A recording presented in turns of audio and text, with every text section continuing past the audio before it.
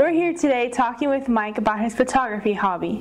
What do you like most about photography? What I like most about photography is seeing an image, taking that image, and it lasting forever. When did you first start getting interested in photography? I first got interested in photography in high school when I was a photographer for the yearbook and the newspaper.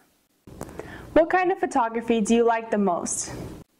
I like all kinds of photography, but mostly portrait and landscape. What advice would you give to aspiring photographers? My advice would be use any camera you can and take as many pictures as you can. Thank you. We've been talking to Mike about his photography hobby. Back to you in the studio.